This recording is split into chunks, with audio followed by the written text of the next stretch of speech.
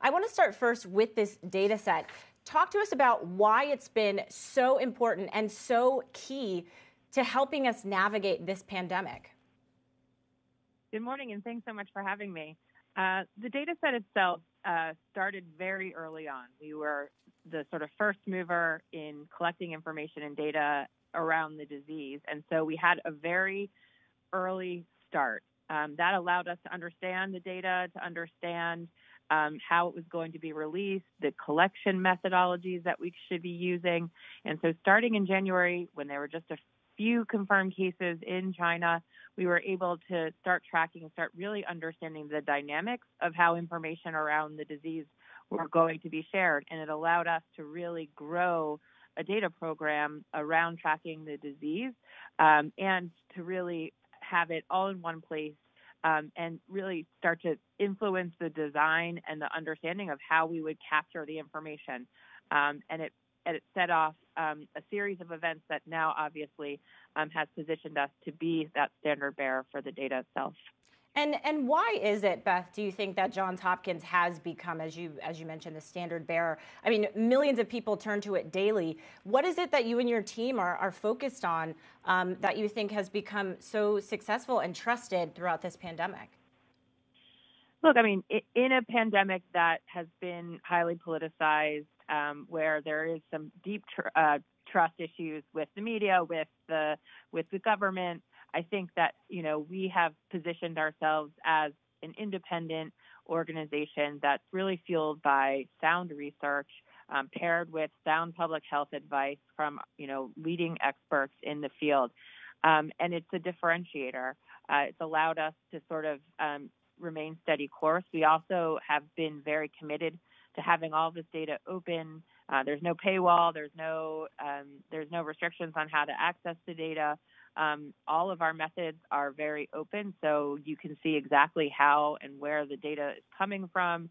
Um, you know, we are we we uh, really share a lot of detailed information about the flow of the data, and I think it's just allowed us to continue a steady state um, that has been um, at the center of tracking for individuals like my parents who are making decisions about whether they're going to go out um, and, and wear a mask or go to the grocery store to large governments or news organizations who are sharing the information.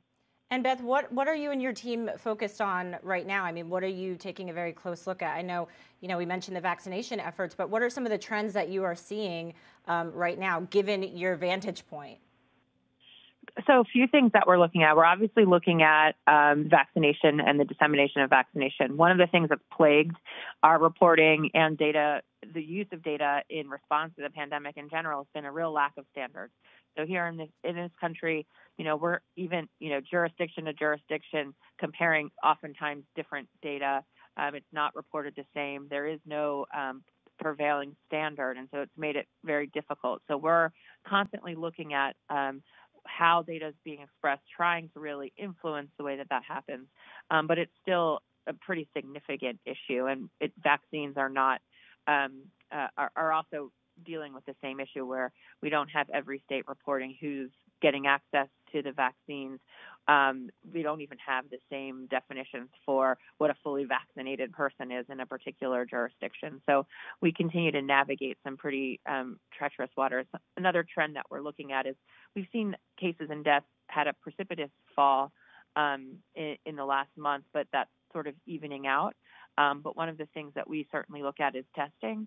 Um, and we're also seeing a lot less testing now that our mass te- testing sites across the country have been repurposed into mass vaccination sites. Um, we're keeping a keen eye at really understanding whether or not we're getting a full picture of where the disease is. And so then, Beth, just just wrapping up, what do you see as a legacy of, of the COVID tracking data set that, that you're managing? I mean, we're seeing a lot of states, as you mentioned, sort of have take their individual approaches to reopening. But what do you see as what you're doing? How, how is that going to influence us as we navigate out of this pandemic, hopefully at one point? a few things. I think public data has taken a completely new life um, in response to the pandemic, and I hope that we think about data as this asset, not just as we navigate public health crises, but as we navigate things like climate change and violence and some of the other really pressing issues. And so, this sort of democratization of science that's allowed individual decisions to play out, and that's also allowed um, governments to really shape public policy deeply based in evidence, um, I think is a is a trend that we we ha- we now have to sort of lean towards.